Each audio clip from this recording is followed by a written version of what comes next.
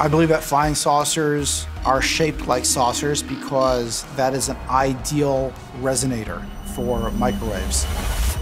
Inside this building in northern New Jersey, a small group of people are studying the science they think drives flying saucers. The shape of the craft is dictated by microwave engineering. They're conducting experiments and building tools in an effort to reverse engineer UFOs. Anything that involves moving an object from point A to point B will be affected by this type of technology. I recently had the opportunity to visit Falcon Space, the lab where these experiments in alternative propulsion are taking place. Okay, welcome to Falcon Space. I spoke with Mark, the founder and CEO, to learn more about what goes on here and how we got started down this path. Pretty much, we're looking into UFO technology, uh, propulsion, anti gravity, warp drive, anything that you've seen on Star Trek that could possibly become reality through present technology. We're looking into, we're running the experiments and seeing what's real and what's not.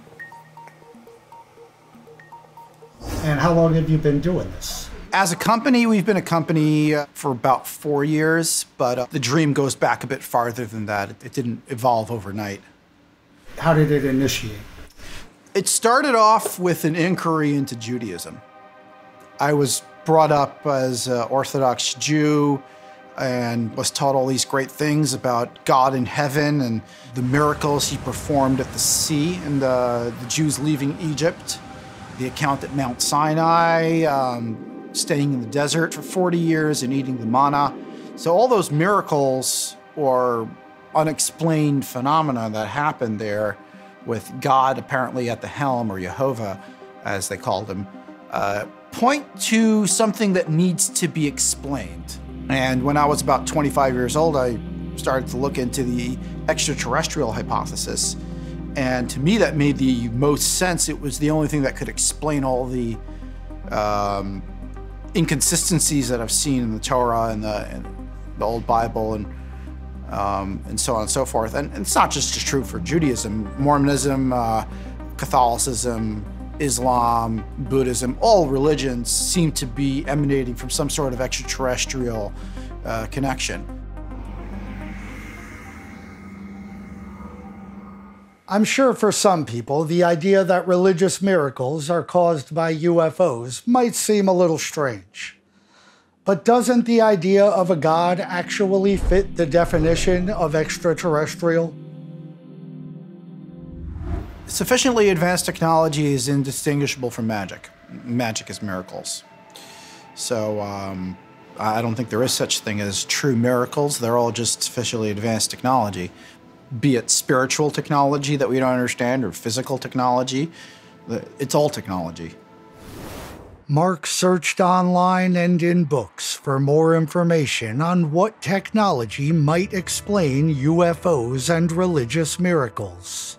That's where I encountered stories of the secret space program, and uh, that led me to believe that the technology to do the miracles of the Bible has already been discovered. It's just waiting to be rediscovered in an open format.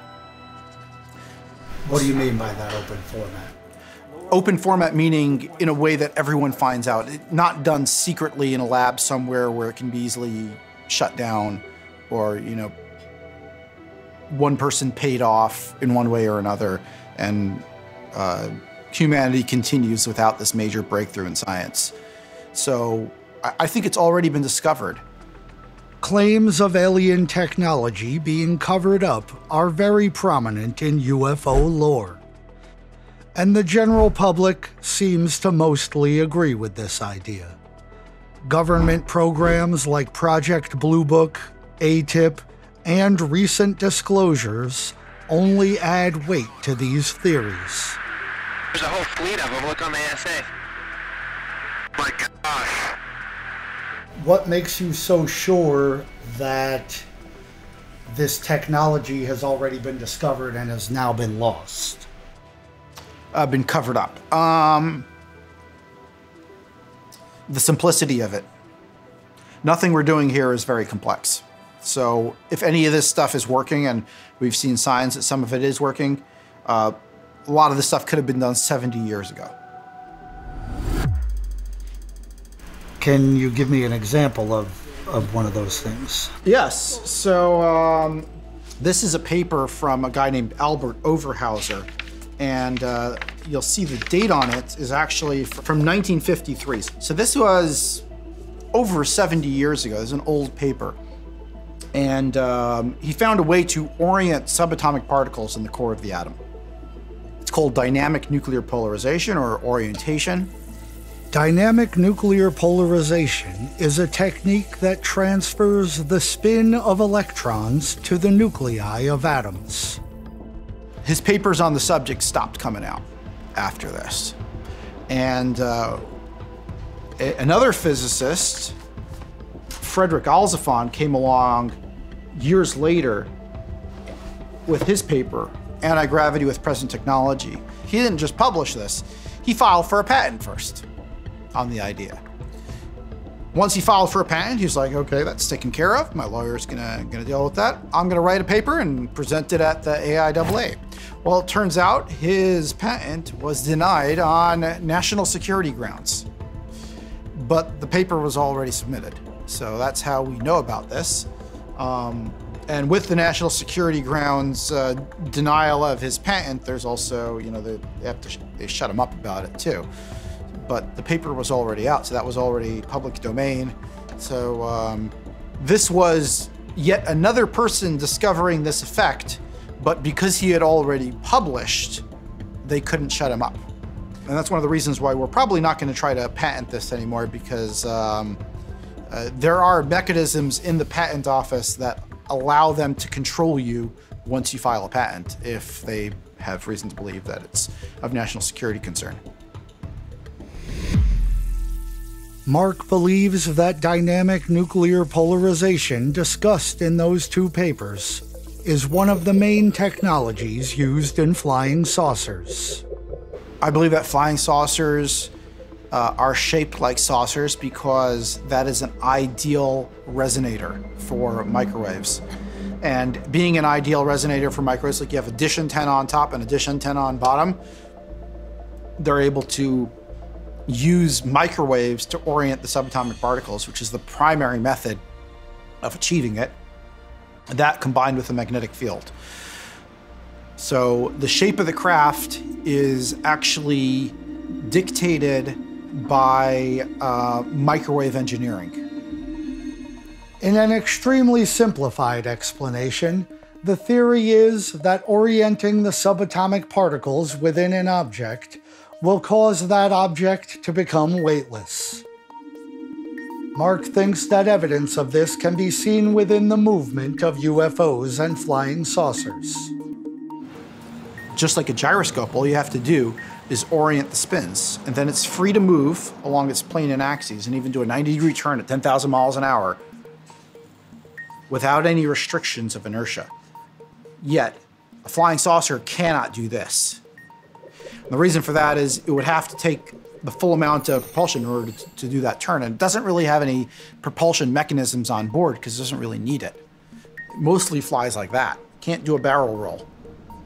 Many sightings of flying saucers, we actually see them slowly changing their orientation before they shoot off in a new direction. That's the reason why how would you account for a lot of people report seeing a tic tac shape or a cigar shape to a lot of UFOs or UAPs? Um, well, cigar shape is actually one of the easier uh, methods of doing it, uh, primarily because I don't have to make a perfect parabola and you know smooth surfaces. I could just use pipes. Um, but a pipe within a pipe would make a, very nice waveguide, and then you could have a coil on the outside so you get your magnetic field and your RF all together. Um, the same principle would apply, except that instead of a flying saucer flying like this, it would now have the orientation along the axes. So such craft would move around like that without restriction, but would have a hard time doing this movement. So imagine this as a cone, it would have a hard time doing that. but it would be able to shoot forward and backward, left and right like that without any problem. But it would be using the same method, just a different shape. You could do this in many different shapes. How did you learn about all this? What, what are your qualifications? Absolutely nothing. I, I, I did not graduate high school. I, I went to yeshiva, which is um, the equivalent of uh, Judaic studies only. So um, I'm self-taught in everything.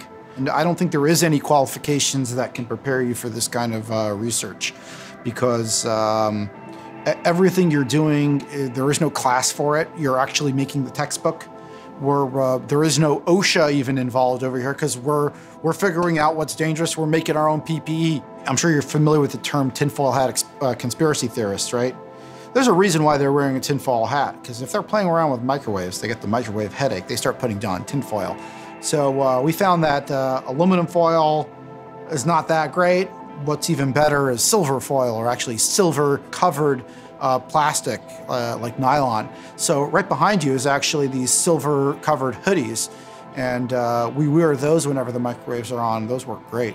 And that's many extraterrestrials are seen wearing materials that look just like that, which would make sense. Basically, basically your own Faraday clothing. What do you think the chances are that you will ultimately be able to build a craft? Uh, very good. I think there's very good chances that we'd be able to build a craft. We, um, on the uh, funding side of things, we've had a lot of investors reach out, um, interested in uh, in funding uh, our, our, research, and because um, this isn't just a project of like let me get rich. This is a project of let me make a difference. Anything that involves moving an object from point A to point B will be affected by this type of technology, except for local delivery, you know, uh, driving to the supermarket or anything like that. That's probably not going to be affected because you probably use an electric vehicle or, you know, your local vehicle. These kind of craft will take over cargo ships. They will take over airplanes, space travel, open pit mining because you built to mine the asteroid belt but you wouldn't be landing them in your backyard to go to the uh, grocery store. Just like nobody is landing helicopters in their backyard to go to the grocery store. But airplanes, cargo ships, a lot of those things would be radically uh, changed by um, the implementation of this technology in wider, uh, wider applications. The work taking place at Falcon Space is pretty interesting. Not only could it change the way we get from one place to another, but it could also change the way we look at religion and our place within the universe. Thanks for watching. If you enjoyed this video, check out some of my other videos which cover a wide variety of subjects. If you want to keep up with what I'm working on, head over to my website and sign up for my newsletter.